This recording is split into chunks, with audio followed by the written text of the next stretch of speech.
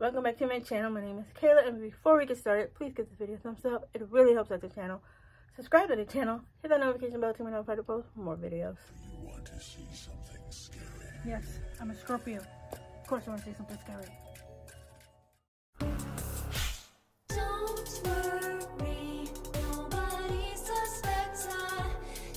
In today's video, I'm going to be pointing out some.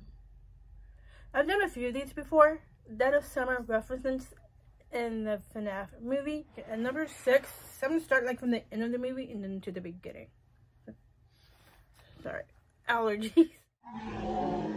Okay. At number six, we have Vanessa lying on the floor at the end of the FNAF movie. Okay.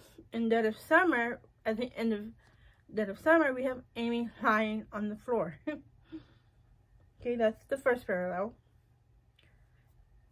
The clips will be in the next setting. Okay. At number five, we have we don't know if William took the knife out or Vanessa did. I think Vanessa did it. And the, the majority of us think Vanessa did it. So, yeah, Vanessa taking a knife out in the FNAF movie It's parallel to Amy taking a knife out in Dead of Summer. Okay.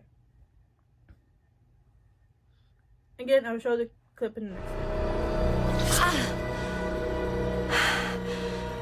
But you didn't save yourself. Number four, William Afton choking Vanessa and FNAF is a parallel to Amy choking Jessie in Dead of Summer. Keep him in the dark and kill him if he got too close. That's two jobs. Okay, number three, we have William saying to the FNAF 4, have something for you to play with. This is going to be so much fun. And then in of Summer, we have Amy saying, it's no fun we don't play, Jessie. okay. Uh, number, yeah, I'm going to show the clip in the next thing. Children! I have something for you to play with! This is gonna be so much fun! Two, when Vanessa throws Mike's pills into the lake in FNAF. In Dead of Summer, we have Amy throwing like a pebble or a rock into the lake with, I believe she's with Alex or Garrett. Somebody like that. Yeah, that's that. Okay. And I will show the clip. It's more like a GIF, but yeah, I'll show it anyway. Okay, at the number one spot, when Vanessa and Mike are in the storage room, and Mike is telling her, it's like, robots murdering innocent people, and Vanessa's like, they weren't innocent. That's in the FNAF movie.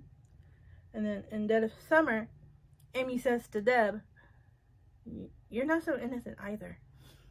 yeah, that's the par- That's the first parallel that I caught. Yeah.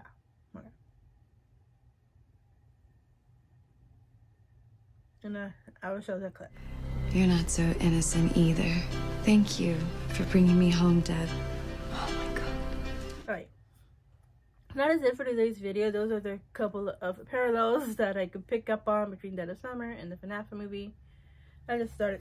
It was interesting that the creators like paid homage to Scream and Dead of Summer. Yeah. Whether it was intentional or not. I just like those parallels. I hope you guys did too. So yeah, if you did, give it a thumb, give this video a thumbs up, subscribe, hit the notification bell to be notified for more videos. Leave your thoughts and theories on any horror movie in the comments below. I would love to read them. Yeah, and other content that you would like to see. And yeah, that is it for today's video. Thank you for watching. and I will see you in the next.